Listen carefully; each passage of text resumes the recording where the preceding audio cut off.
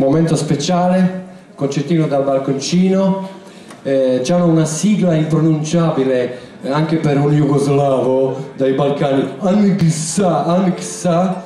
Io so solamente che sono eh, la nostra punta di diamante, associazione, diciamolo così, AA, associazione autistici, saranno con noi in questo rivolgimento alla cittadinanza un comizio dell'associazione autistici Tiziana e Riccardo. Un applausone!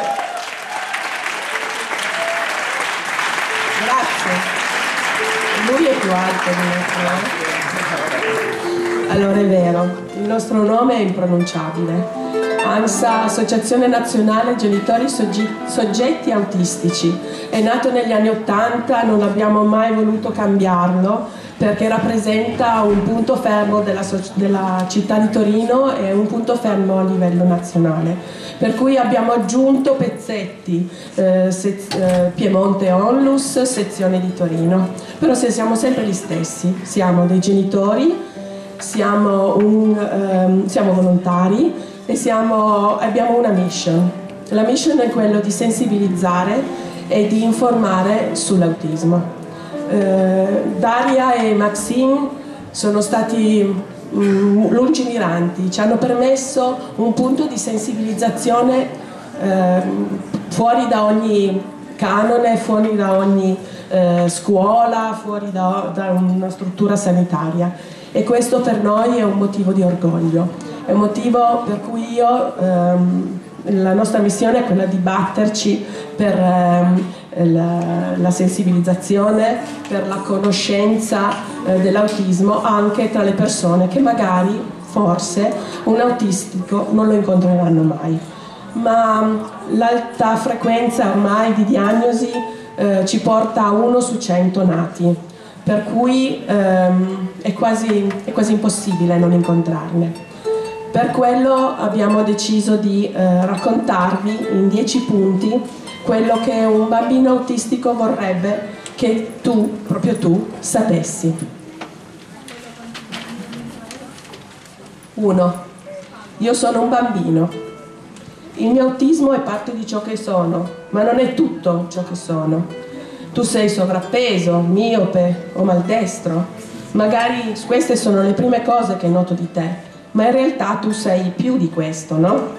Tu sei una persona con pensieri, sentimenti, preferenze, idee, sogni. Poiché sei un adulto, tu hai il controllo sul modo in cui ti definisci. Se vuoi far emergere una caratteristica sulle altre, puoi farlo. Io, che sono un bambino o un ragazzo, non so ancora chi sono. 2. I miei sensi non si sincronizzano. Il normale flusso di immagini, suoni, odori, gusti e sensazioni tattili, che probabilmente tu neanche noti, per me è addirittura doloroso. Spesso ho l'impressione che l'ambiente mi, mi sia ostile. Ti sembra ti potrei sembrare isolato, aggressivo o cattivo, ma sto solo cercando di difendermi. Il mio udito è acutissimo, il mio olfatto potrebbe essere ipersensibile e i miei occhi bombardati. Purtroppo il mio cervello non riesce a filtrare tutti gli input e vado in tilt. 3. Distingui fra ciò che non voglio fare, che scelgo di non fare, e non posso fare, che non sono in grado di fare. Io ti ascolto quando mi dai istruzioni, ma non ti capisco. Quando mi parli dall'altro lato della stanza, io sento Luca. Piuttosto vieni più vicino, richiama la mia attenzione e parla con parole semplici. Luca, rimetti il libro sulla scrivania. Luca, è ora di mangiare. Così è più facile per me obbedire. Sono un pensatore concreto, interpreto il linguaggio letteralmente. Quando dici c'è un tempo da lupi, io mi aspetto di vedere spuntare un animale feroce da un momento all'altro. Dimmi invece, piove e fa molto freddo. Giochi di parole, modi di dire, sfumature, allusioni, sarcasmo, metafore non hanno nessun effetto su di me. Mi sta dando delle scosse incredibili al naso. Non si sa chi, chi ha più elettricità, tu o il microfono. Prova adesso che un po' più basso, ok?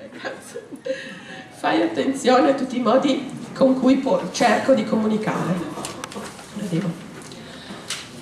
Per me è difficile dirti cosa ho bisogno se non riesco a descrivere le mie sensazioni. Fai attenzione al mio linguaggio del corpo, alla mia tendenza a isolarmi, ad agitarmi, ad altri segni che significano che c'è qualcosa che non va. È tutto da, lì da interpretare. Fammi vedere, ho un pensiero visivo. Ho bisogno di vedere qualcosa per impararlo, perché le parole dette per me svaniscono presto. Fammi vedere più volte come si fa qualcosa anziché dirmelo e basta. Con tanto esercizio paziente riesco ad imparare. I supporti visivi creano una transizione indolore tra le mie attività e mi aiutano a gestire il tempo e a soddisfare le tue aspettative. 7. Concentrati e lavora su ciò che posso fare, anziché su ciò che non posso.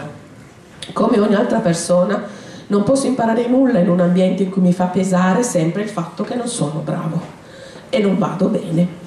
Cerca dei punti forti in me e li troverai. Per tutte le cose esiste più di un modo giusto per riuscirci. Aiutami nelle interazioni sociali.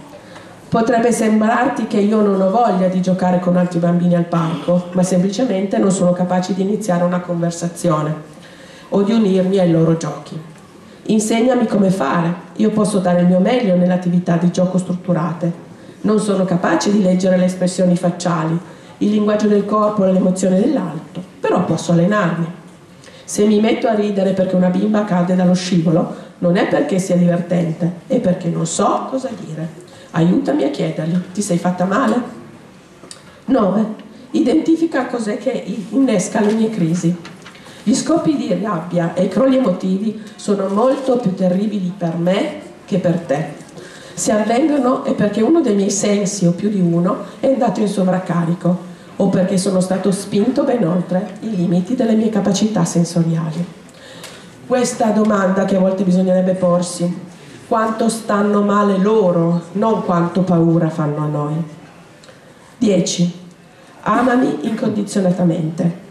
Smettila di pensare a quello che, potre, che potrebbe essere potuto scusate, smettila di pensare a quello che sarebbe potuto essere se io non fossi autistico Neanche tu hai soddisfatto ogni aspettativa che i tuoi genitori avevano per te. Non ho scelto io di avere l'autismo. Senza il tuo supporto le tue opportunità di crescere e diventare indipendente sono scarse, anzi, invece con il tuo aiuto le possibilità sono migliori di quanto tu possa credere. Dobbiamo avere tanta pazienza. Amami per quello che sono e vediamo dove riusciremo ad arrivare.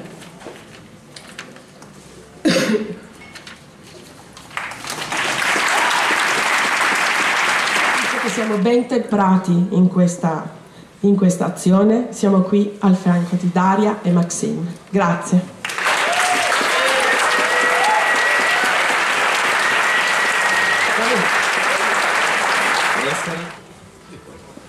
Eh, comunque, come avete ben potuto vedere, noi ragazzi autistici abbiamo... Eh, sì, in realtà essere autistici non vuol dire semplicemente avere determinate difficoltà e avere determinati punti di forza, ma non vuol dire assolutamente cosiddetto essere scemi, assolutamente no. Cioè vuol dire capire le cose in una determinata cosa da, da, da come vengono capite dai neurotipici. Bravo, bravo, bravo. bravo.